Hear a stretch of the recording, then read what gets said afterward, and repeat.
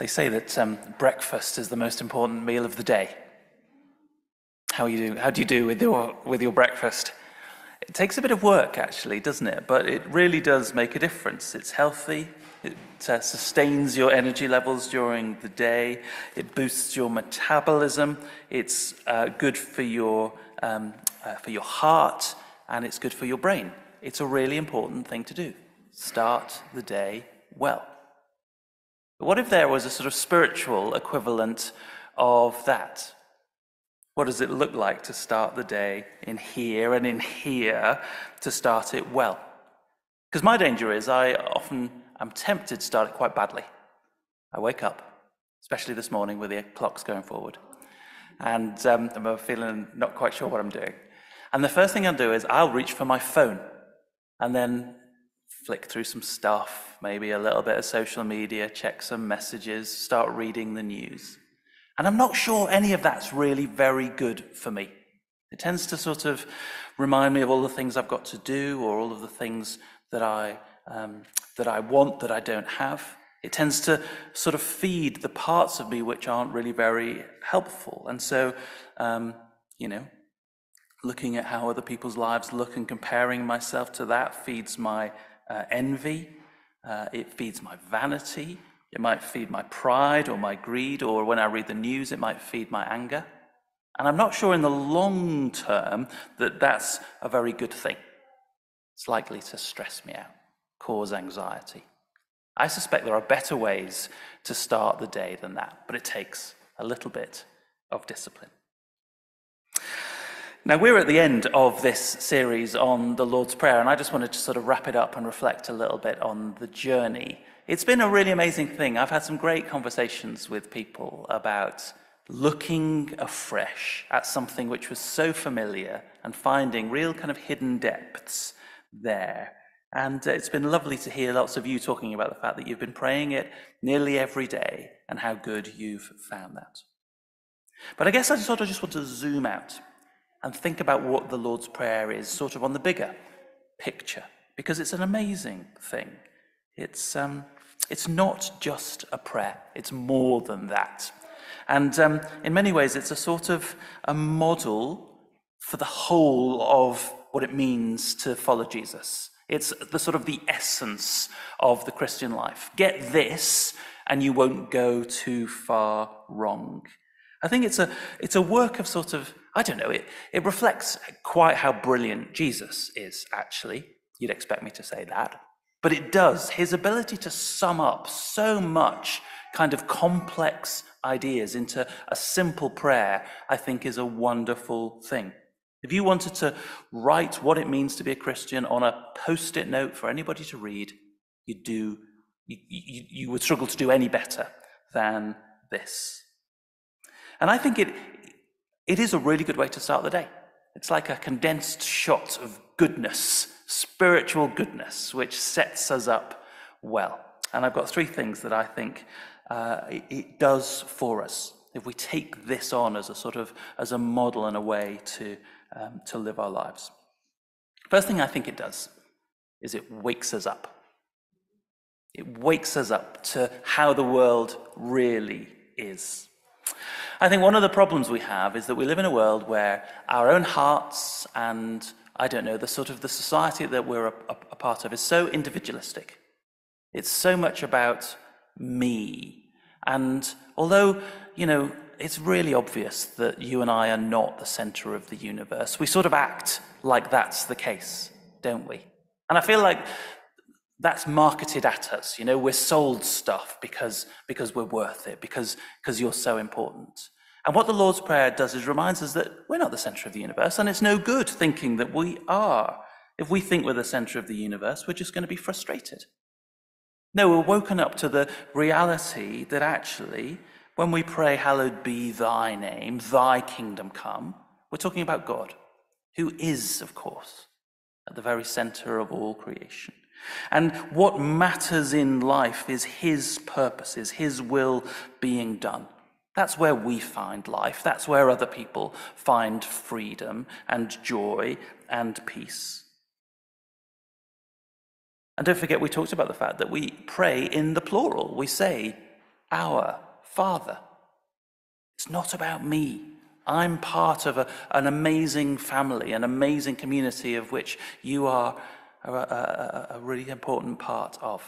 When we pray, we're reminded of our brothers and sisters, our part in the people of God, which is the church. So it sort of wakes us up to the reality of our place in the world. It puts us in the right place. And I think that's a really blessed and important thing to do. It reminds us, of course, as well of our need for forgiveness and our need to forgive other people. And that important, difficult journey of reconciliation. So it wakes us up to the world as it actually is, not the world that we slightly pretend to inhabit. Secondly, it's like a compass which orients us in the right direction. Again, I'm sure you've had that experience of, um, of just getting lost along the way.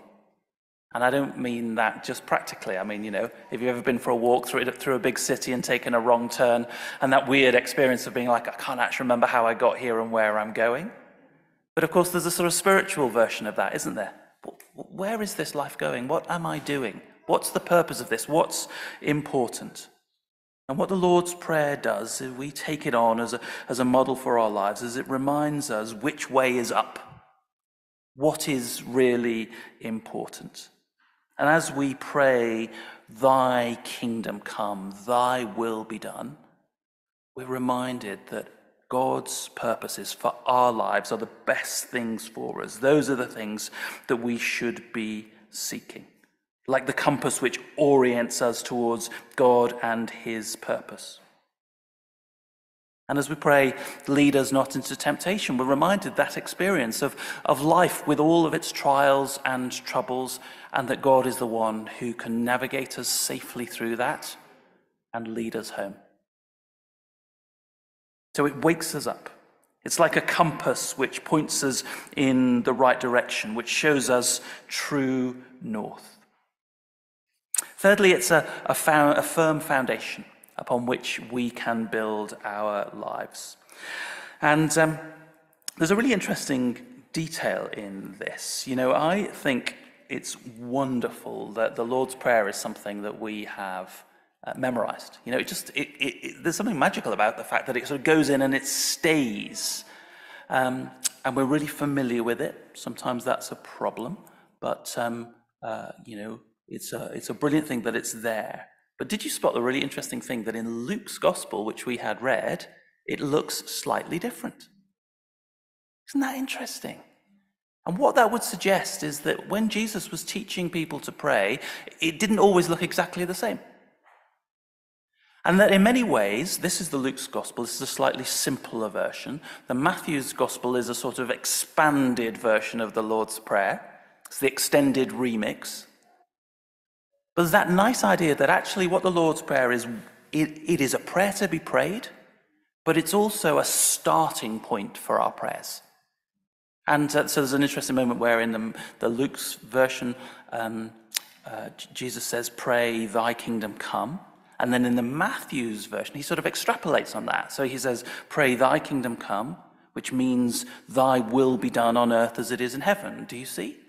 And I, I, think there's this kind of idea that each of the lines of the Lord's Prayer can be a starting point for our prayers, can be something that we can meditate on and reflect on. And so that our life and our prayers should absolutely reflect this. It should look something like the Lord's Prayer. But it doesn't have to look exactly like this. That it can um, be, uh, you can reflect and grow and develop on the themes that come out of this. But I would say that this still has to be the model. I think there's a real danger, because of the nature of our world, that our prayer can become a little bit too self centered. And what the Lord's Prayer does is consistently turns us outward towards others, towards God, towards the bigger picture of the world. So I, do you see, it's a, it's a really good sort of model and a good foundation for the, the lives that we live, the way that we think, and the way that we pray.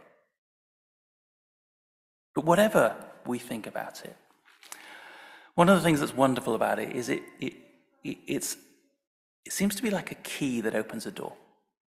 Someone said that um, the Lord's Prayer is like the key to the whole business of living well. It does, it sort of opens that door.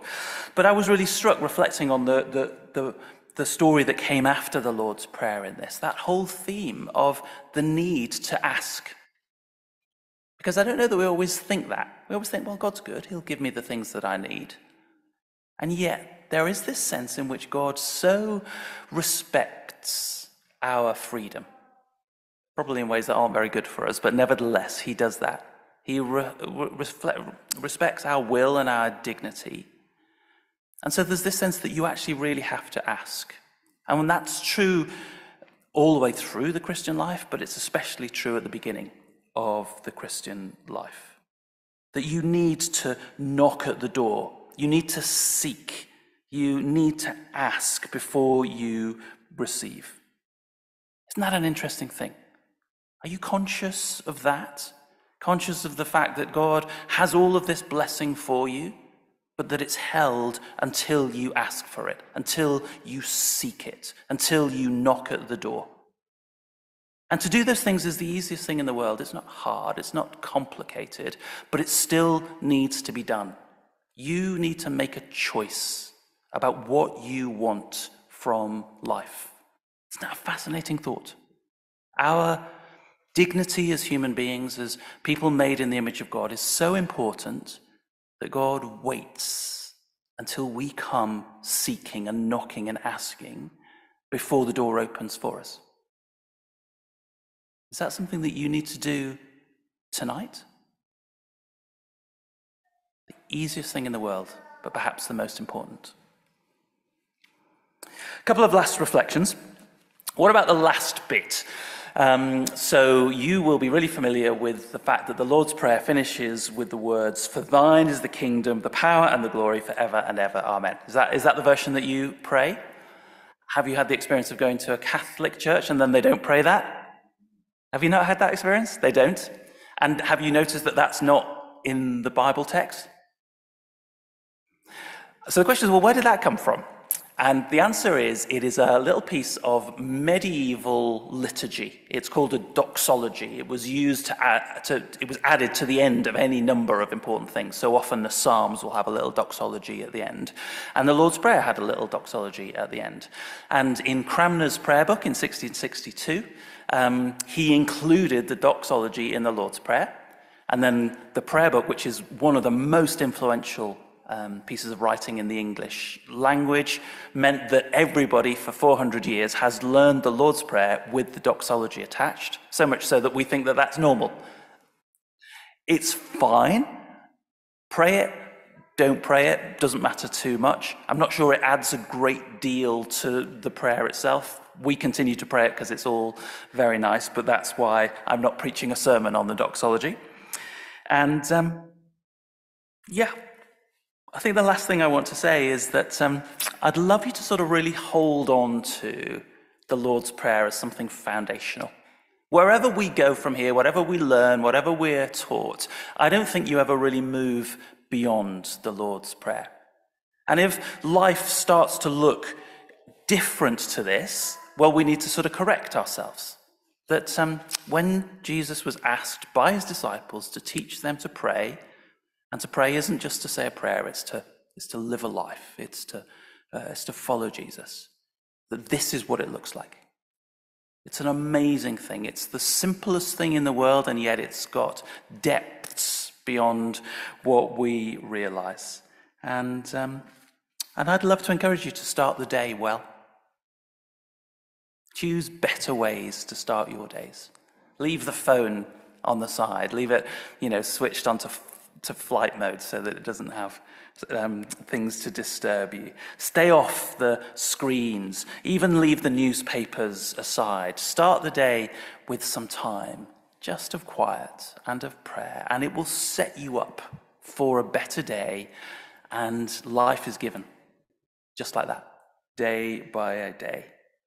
What the Lord's Prayer does is it wakes us up to the world as it really is. It wakes us up to God's reality. It, it orients us in the right direction. It points us towards God's purposes in the world and the things that we hope for. And um, it acts as a foundation for our lives. And you will not go too far wrong if that is the foundation of your life. It is, of course, greater than we can imagine because one day this prayer will be answered. I can't always promise that for our prayers. You know, sometimes we pray for stuff and we don't know whether the God is actually going to answer it in the way that, um, that we'd like it to. But this prayer, I've got some confidence that this is going to be answered. That one day um, the kingdom will come. God's will will be done on earth as it is in heaven. One day the earth will be filled with the knowledge of the glory of God as the water covers the sea. One day it will be on earth as it is in heaven, and then it all will be well. And until that day, we pray this prayer. Amen.